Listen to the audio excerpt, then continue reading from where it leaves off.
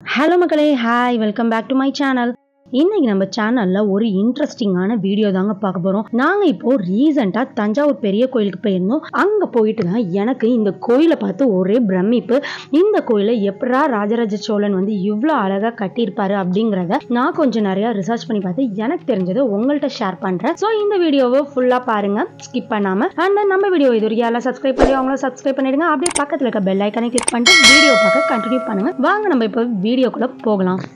நம்ம தஞ்சை பெரிய கோயில் பாத்தீங்கன்னா முதல் அடியில இருந்து கடைசி அடி வரைக்கும் வெறும் கருங்கற்களாலேயே இந்த கோயிலை கட்டியிருக்காங்க. ஆமாங்க இதுல வெறும் கருங்கற்களை மட்டும்தான் இங்க பயன்படுத்தியிருக்காங்க. அது மட்டும் இல்லாம இங்க இருக்க ஒவ்வொரு சிற்பங்களையும் ஓவியங்களையும் பார்த்தா நம்மள பிரமிக்கிற வைக்கிற அளவுக்கு இருக்கும். இங்க வந்து சிற்ப வேலைப்பாடுகளும் ஓவிய வேலைப்பாடுகளும் ஒன்னா இணைஞ்சு இருக்கிறத நம்ம இங்க பார்க்க முடியும். அதே மாதிரி இன்னொன்னு வந்து பாத்தீங்கன்னா இங்க அறுபத்தி நாலு திருவிளையாடல் சிற்பங்களை நம்ம பார்க்கலாங்க. ஒவ்வொரு சிற்பங்களும் அவ்வளோ ஒரு நுணுக்கமான வேலைப்பாடோட பார்க்கிறதுக்கே ரொம்ப பிரமிக்க வைக்கிற அளவுக்கு சூப்பரா இருக்கும்னு நம்ம சொல்லலாம். அடுத்ததா பாத்தீங்கன்னா அங்க ரெண்டு நுழைவு கோபுரங்கள் இருக்கும். அதை கலந்துதான் நம்ம கோயிலுக்கே போகணுங்க. அதுல முதல் கோபுரம் பாத்தீங்கன்னா கேரளாந்தன் கோபுரம். இரண்டாவது பாத்தீங்கன்னா ராஜராஜ கோபுரம். இதை தாண்டி தான் வந்து சிவலிங்கம் இருக்க அந்த முக்கியமான பெரிய கோபுரம் இருக்க இடத்துக்கே போவோம். சோ இப்ப கோயிலுக்குள்ள நம்ம வந்துட்டு இங்க அடுத்து வந்து ஒரு ஆச்சரியம் தர விஷயம் என்னன்னா ஆகம சாஸ்திர விதிமுறைகள் படி கர்ப்ப கிரகங்கிறது சின்னதா ஒரு ஆள் நுழையிறபடி இருட்டாதான் இருக்கும். ஆனா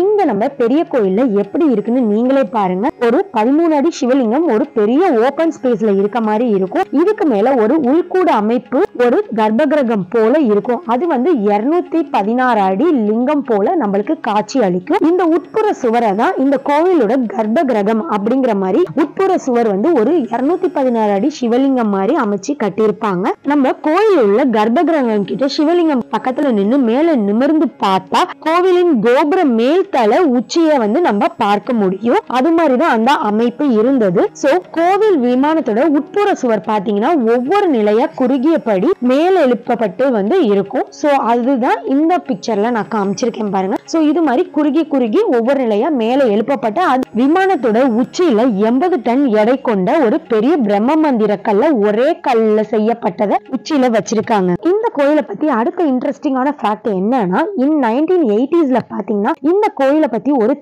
தெளிவான தகவல் இல்லாததுனால மக்கள்கிட்ட இந்த கோயிலை யாரு கட்டினாங்கன்னே தெரியல. அத வந்து நைன்டீன் எயிட்டி சிக்ஸ்ல ஜெர்மனை சேர்ந்த ஒரு சயின்டிஸ்ட் ஹூல்ஸ் அப்படிங்கிறவர் தான் வந்து இங்க வந்து ஆராய்ச்சி பண்றப்ப கர்ப்ப கிரகத்துல ஒரு வாக்கியம் எழுதியிருக்கிறத வச்சு இந்த உலக அதிசயத்தையே மிஞ்சும் ஒரு பெரிய அதிசயமான இந்த பெரிய கோயிலை நம்ம ராஜராஜ சோழன் தான் கட்டினாருன்னு எல்லாருக்குமே தெரியப்படுத்தினாருங்க. நம்ம ராஜராஜ சோழன் வந்து இந்த பெரிய கோயிலை கட்டணும் அப்படின்னு நினைச்சப்ப அவர் வந்து அவர்கிட்டயே இருக்க ஒரு தலை சிறந்த பொறியாளரான குஞ்சரமல்ல பெருந்தச்சன் அப்படிங்கிற ஒரு பொறியாளரை அவர் தேர்ந்தெடுத்தாரு. ஸோ அவர் தேர்ந்தெடுத்ததுக்கு அப்புறம் அவங்க எப்படி கோவில் கட்ட போறோம் அப்படிங்கிறத டிசைட் பண்ணாங்க. ஆனா இதுல இன்னும் ஒரு வியக்க வைக்கிற விஷயம் என்னன்னு பாத்தீங்கன்னா தஞ்சாவூரை சுத்தி எங்கேயுமே கருங்கற்களை கிடையாதுங்க. சோ இவங்க கருங்கற்களை எங்க இருந்து கொண்டு வந்திருக்காங்கன்னு பாத்தீங்கன்னா புதுக்கோட்டை மாவட்டத்துல இருக்க நார்த்தாமலை அப்படிங்கிற இடத்துல இருந்து தான் ஒரு லட்சத்தி அறுபதாயிரம் டன் எடைகள் கொண்ட க- வெறும் கருங்கற்களை கொண்டு வந்திருக்காங்க. அது எப்படின்னு பாத்தீங்கன்னா மூவாயிரம் யானைகள் ஐந்தாயிரம் குதிரை வண்டிகள் இதை வச்சு எடுத்துட்டு வந்திருக்காங்க. அப்ப எத்தனை நாள் ஆயிருக்கும் எத்தனை பேர் தேவைப்பட்டிருப்பாங்க அந்த வேலை செய்ய? எவ்வளவு நாள் ஆயிருக்கும்னு யோசிச்சாலே தலை சுத்துதுங்க. அந்த அளவுக்கு நம்ம ராஜராஜ சோழன் இந்த கோயிலை வியப்புடையதா கட்டியிருக்காருன்னு சொல்லணும். ராஜராஜ சோழன் பாத்தீங்கன்னா இந்த கோயில் ஃபுல்லாமே ஒரு இன்டர்லாக் சிஸ்டம்ல தான் கருங்கற்களை வச்சு பில்ட் பண்ணிருப்பாரு சோ இந்த இன்டர்லாக் முறையில இருநூத்தி பதினாறு அடி கோபுரத்தை கட்டி இருந்தாலுமே அதுக்கு மேல இருக்க அந்த பிரம்ம மந்திர கல் ஒரே ஒரு கல் எண்பது டன் வெயிட் கொண்டதை. எப்படி அந்த காலத்துல எந்த தொழில்நுட்பமும் இல்லாம வச்சாங்க அப்படிங்கிறது இன்ன வரைக்கும் ஒரு பெரிய மர்மமா தான் இருக்கு. ஸோ நம்மளால சில டெக்னிக் வந்து இப்படி பண்ணிருக்கலாம் அப்படி பண்ணிருக்கலாம் சொல்லிட்டு இருக்கோமே தவிர உறுதியா என்ன நடந்துச்சுன்னு இப்போ வரைக்கும் ராஜராஜ சோழனும் அப்ப இருந்தவங்களை தவிர வேற யாருக்கும் தெரியாது அப்படிங்கிறது தான் உண்மையான ஒரு விஷயங்க. அது மட்டும் இல்லாம இந்த கோயிலை கட்டுறப்போ நிறைய பண தேவைகள் இருந்ததுனால மக்கள் கிட்ட அவர் உதவி கேட்டாரு. சோ அங்க இருந்த எல்லா மக்களும் தங்களால முயன்ற எல்லா உதவியும் செஞ்சாங்க. சோ அதுக்கு வந்து நம்ம ராஜராஜ சோழன் என்ன செஞ்சாருன்னு கேட்டு அப்படின்னா மெய் செலுத்துறவங்க. ஆமாங்க. இந்த கோயிலை கட்ட யார் யாரெல்லாம் கொடுத்தாங்களோ அவங்களோட ஒவ்வொருத்தரோட பேருமே இந்த கோயில்ல இருக்க கல்வெட்டுகளை இருக்கணும் அப்படின்னு சொன்னாரு. சோ அந்த வார்த்தைக்கு ஏற்ப அந்த கோயில்ல யார் யாரெல்லாம் என்னென்னலாம் செஞ்சாங்களோ எல்லாரோட பேருமே ஒவ்வொரு கல்வெட்டுகள் அந்த கோபுரங்கள் அந்த எட்டடி ஆழத்துல கோவிலுக்கு அடியில இருக்க முண்டு கற்கள்ல கூட கல்வெட்டுக்கள்ல பேர் பதிச்சிருக்காங்க. இத கேக்குறப்பவே பாத்தீங்கன்னா செம்ம கூஸ்பம் தான் நம்மளுக்கு இருக்கும். இந்த கோயிலை வந்து பாத்தீங்கன்னா ஆயிரத்தி பத்தாவது வருஷம் முடிச்சிட்டாங்க.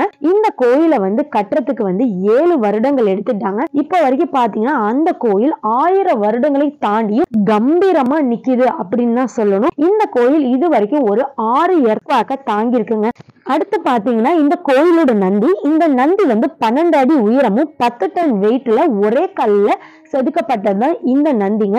சோ இந்த கோயில்ல இருக்க ஒவ்வொரு விஷயமே நம்மளுக்கு பிரமிப்பை தரக்கூடிய விஷயமா தான் இருக்கும். இந்த நந்தி இன்க்ளூட் இந்த கோயிலை சுத்தி ஆயிரக்கணக்கான சிவலிங்கங்களும் நந்திகளும் இருக்கு. ஸோ இந்த கோயிலோட கட்டமைப்பு பாத்தீங்கன்னா டைனமிக் வடிவில் இருக்குங்க. இந்த கோயிலை கட்டுறதுக்காக பேஸ் வந்து எப்படி கொடுத்தாங்கன்னா சுக்காம்பாறை நிலப்பரப்புல வந்து முன்னூத்தி ஐம்பது அடியில தொட்டி மாதிரி கட்டி அதை ஃபுல்லா வந்து காற்றாற்று மணலை கொட்டி அதுக்கு மேல மரக்கற்கள் வடிவுல அஸ்திவாரத்தை அமைச்சு ரொம்ப ரொம்ப ஸ்ட்ராங்கான கற்களை வச்சு தரமாட்டம் அளவுக்கு கொண்டு வந்திருக்காங்க. அதுக்கு மேலதான் இருநூத்தி பதினாறு அடி கோபுரமே எழுப்பியிருக்காங்க.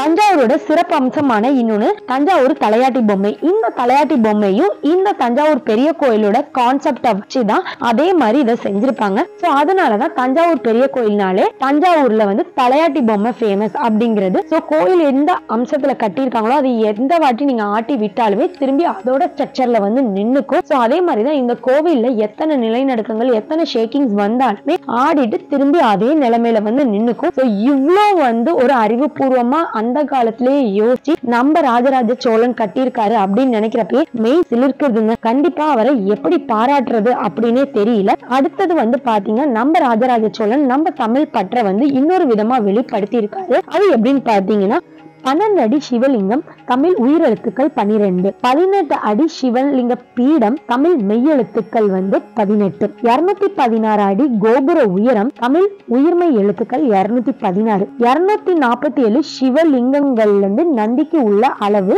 இதுதான் வந்து டோட்டல் தமிழ் மொத்த எழுத்துக்களோட எண்ணிக்கைங்க. சோ அத மைண்ட்ல வச்சு எவ்வளவு ஒரு அழகான ஒரு தமிழ் எழுத்துக்களோட எண்ணிக்கைகளை வச்சு இவர் கோயில் உருவாக்கி இருக்கிறாருன்னு நினைக்கிறப்ப வேற லெவலா இருக்கு. அதே மாதிரி இன்னொன்று இந்த கோயிலை பற்றி நான் பார்த்துட்டு வரப்போ ஒரு வேர்டிங்ஸ் பார்த்தேன். எனக்கு ரொம்ப ரொம்ப ரொம்ப பிடிச்சிருந்தது.